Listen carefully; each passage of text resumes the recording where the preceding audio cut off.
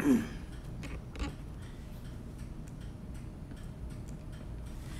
evening and welcome to evening prayer for this July 4th, Independence Day.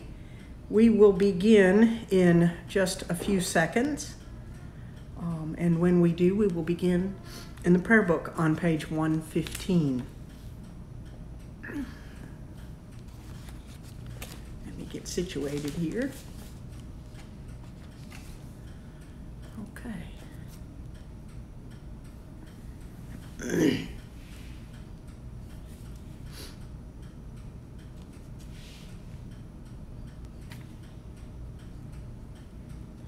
Grace to you and peace from God our Father and from the Lord Jesus Christ. I will bless the Lord who gives me counsel. My heart teaches me night after night. I have set the Lord always before me. Because he is at my right hand, I shall not fall. Let us confess our sins against God and our neighbor. Most merciful God, we confess that we have sinned against you in thought, word, and deed by what we have done and by what we have left undone. We have not loved you with our whole heart. We have not loved our neighbors as ourselves. We are truly sorry and we humbly repent. For the sake of your Son, Jesus Christ, have mercy on us and forgive us, that we may delight in your will and walk in your ways, to the glory of your name. Amen. Almighty God, have mercy on you, forgive you all your sins through our Lord Jesus Christ strengthen you in all goodness, and by the power of the Holy Spirit keep you in eternal life. Amen. Evening prayer continues with the invitatory and the psalm.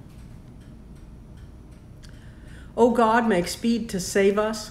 O Lord, make haste to help us. Glory to the Father, and to the Son, and to the Holy Spirit, as it was in the beginning, is now, and will be forever. Amen. Alleluia. And now, O gracious light on 118. O gracious light, pure brightness of the ever living Father in heaven, O Jesus Christ, holy and blessed. Now, as we come to the setting of the sun, and our eyes behold the vesper light, we sing your praises, O God, Father, Son, and Holy Spirit. You are worthy at all times to be praised by happy voices, O Son of God, O Giver of life and to be glorified through all the worlds. The psalm appointed for this day is a portion of Psalm 107, a big portion of Psalm 107, verses 1 through 32.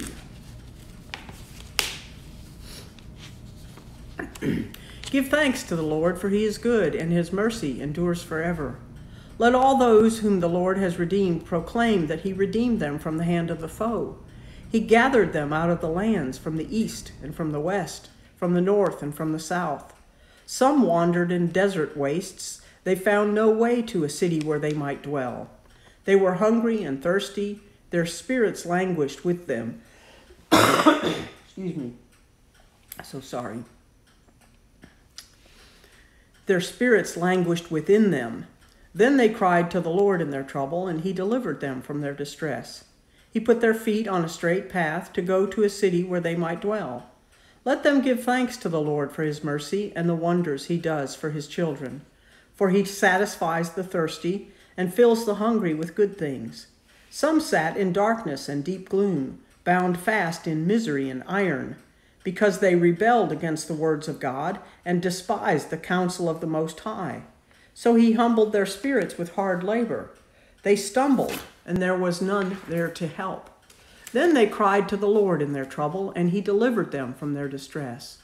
He led them out of darkness and deep gloom, and broke their bonds asunder. Let them give thanks to the Lord for his mercy and the wonders he does for his children. For he shatters the doors of bronze and breaks in two the iron bars. Some were fools and took to rebellious ways. They were afflicted because of their sins. They abhorred all manner of food and drew near to death's door. Then they cried to the Lord in their trouble, and he delivered them from their distress. He sent forth his word and healed them, and saved them from the grave.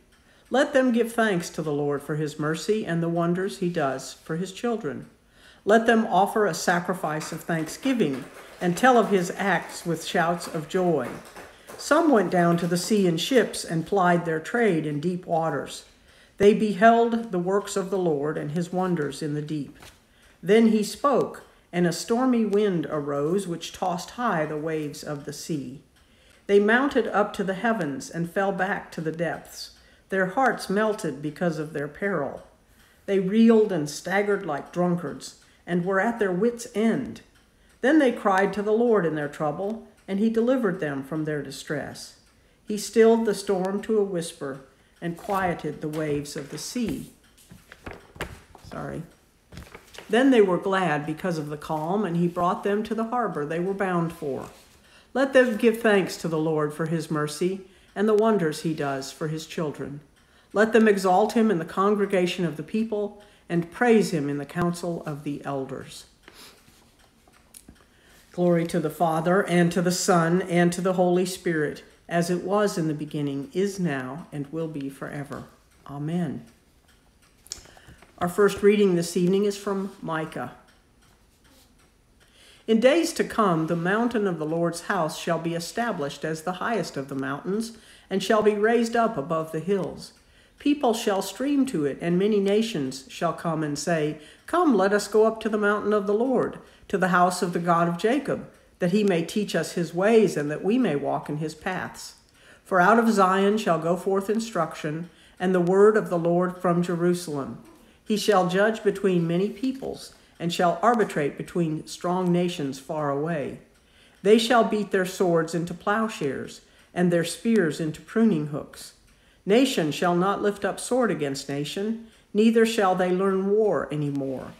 But they shall all sit under their own vines and under their own fig trees, and no one shall make them afraid. For the mouth of the Lord of hosts has spoken. For all the peoples walk, each in the name of his God, but we will walk in the name of the Lord our God, forever and ever. The word of the Lord. Thanks be to God.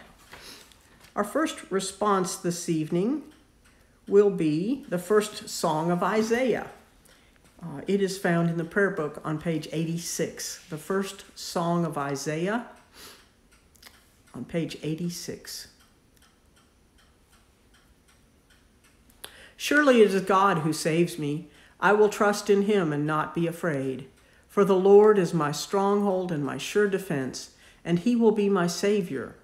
Therefore, you shall draw water with rejoicing from the springs of salvation. And on that day you shall say, Give thanks to the Lord and call upon his name. Make his deeds known among the peoples. See that they remember that his name is exalted. Sing the praises of the Lord, for he has done great things, and this is known in all the world. Cry aloud, inhabitants of Zion. Ring out your joy, for the great one in the midst of you is the Holy One of Israel.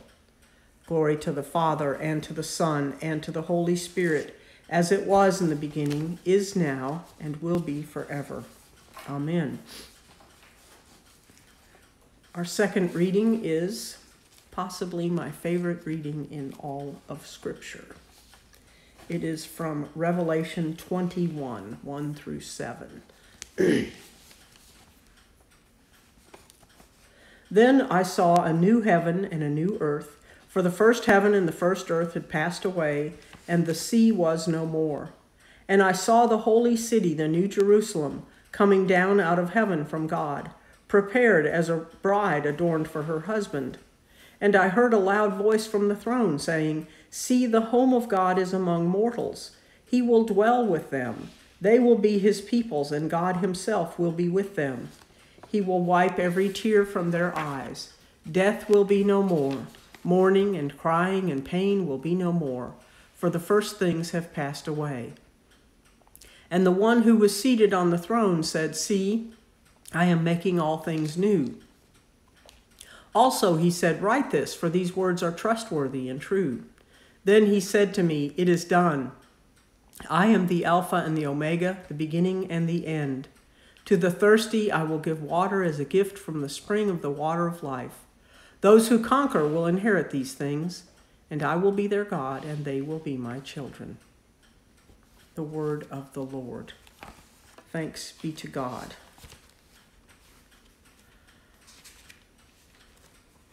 We will respond with, sorry, the Song of Simeon. Lord, you now have set your servant free to go in peace as you have promised.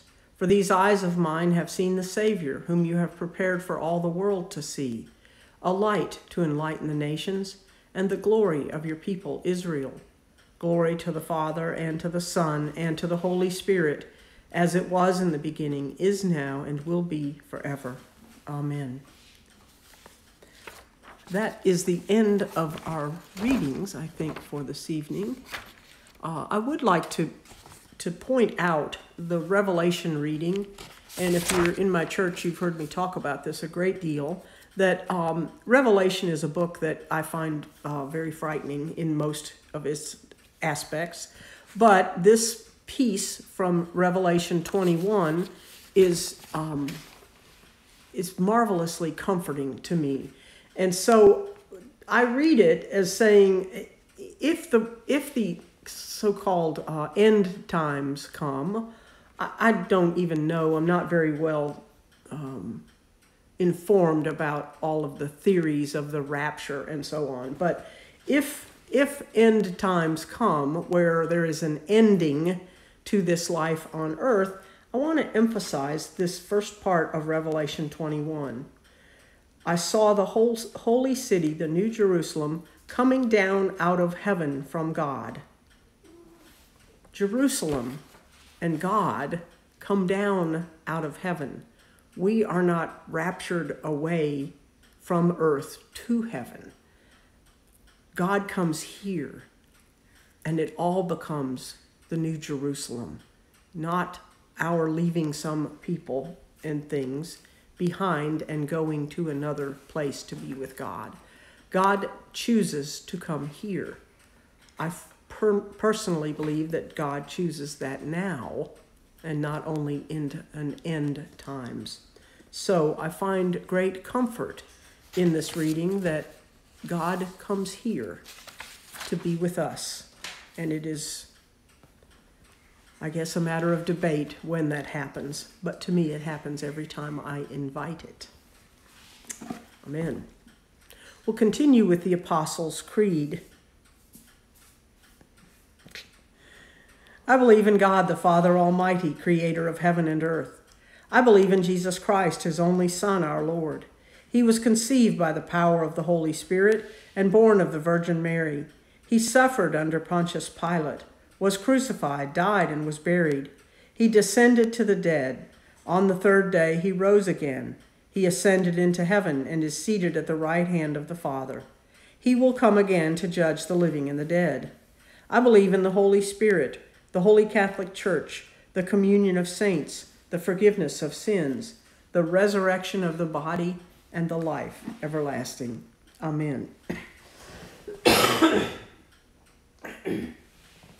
Excuse me, I still have a, a little touch of my Scottish cold left over. We continue with the prayers. The Lord be with you, and also with you. Let us pray. Our Father, who art in heaven, hallowed be thy name. Thy kingdom come, thy will be done, on earth as it is in heaven. Give us this day our daily bread, and forgive us our trespasses, as we forgive those who trespass against us. And lead us not into temptation, but deliver us from evil. For thine is the kingdom, and the power, and the glory, forever and ever. Amen. We will move forward with suffrages A. Show us your mercy, O Lord, and grant us your salvation. Clothe your ministers with righteousness.